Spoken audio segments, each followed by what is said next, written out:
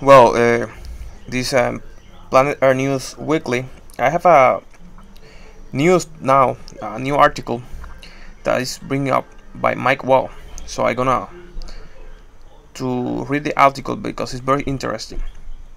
The topic says, first alien planet from another galaxy discovered.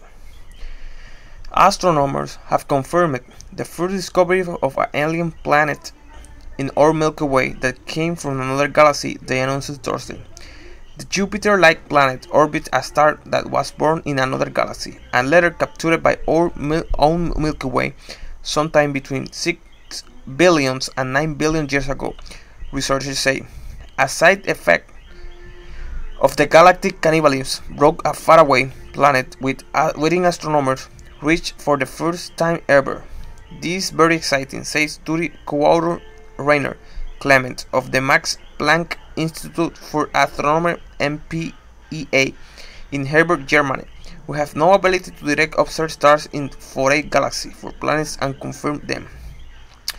Stars currently residing in other galaxies are simply too far away, Klement said. Klement added. The find may also force astronomers to rethink their ideas about planet formation and survival. Researchers say since it's the first planet ever discovered to be circling a star that is both very old and extremely metal poor, metal poor stars are lacking in typically lack elements heavier than hydrogen and helium. The new found planet called HEP 3044b survived through its star red giant phase, which our own sun will enter in about 5 million 5 billion years. So, studying it could offer clues about the fate of our solar system as well, researchers say. HAP sits extremely close to its parent star, which has now contracted again. The planet completes an orbit every 16.2 days, and it comes within about 5 million miles, 8 million kilometers, of its parental star at closest approach, just 5.5% of the distance between Earth and the Sun. The newly discovered alien planet is at least 25% more massive than Jupiter. Researchers say its orbit the star HAP about 2000 light years from Earth in the constellation Fornax. Uh, HAP is about as massive as the Sun and is nearing the end of its life. The star has already gone through its red giant phase, when Sun-like stars bloat enormously after exhausting the hydrogen fuel in their cores. The star is also composed almost entirely of hydrogen and helium. It is less than one only percent as metal rich as our sun, making it the most metal poor star known to host a planet, researchers say. Uh, an extragalactic origin. Last year, another research team announced it may have detected a planet in the Andromeda galaxy. However, the faraway find will be nearly impossible to confirm. The astronomer performing that previous study used a method called gravitational microlensing, which only works when a planet hosting star happens to line up with another star. Such events happen every day. So they are rethinking theories of planet formation.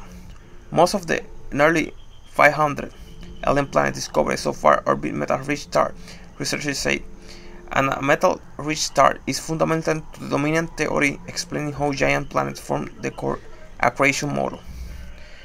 This model posits that dust and gas particles circling a young star climb together and gradually becoming larger, forming rocks. Uh, vision of our solar system fate. Our own sun is on the same stellar evolution track as HEP. Scientists predict it will blow into a red giant in 5 billion years or so. So astronomers will be able to learn something about the fate of our solar system by studying HEP and its parental stars, researchers say. Uh, the inner planets, including Earth, maybe will not survive. Satan stole space.com, but Jupiter, Saturn, and the outer planets might move to, to closer in orbit, exactly like we detected. HAP is a survivor, but it won't live forever. Its parental is due to expand again in the next phase of its evolution, researchers say, and this time the planet will almost entirely be engulfed. So there's another article that say that there is a official officially this is the first alien planet from another galaxy galaxy discovered. Interesting. This bring more more what I say believe uh, we need to believe now more on the UFO and the aliens that come in visiting the Earth because uh, they now found the first alien confirmed unofficially planet discovery. Maybe they know more. Maybe they know a lot of information about this, but they only spreading it. Uh, Bienvenidos Ish, a mi ish.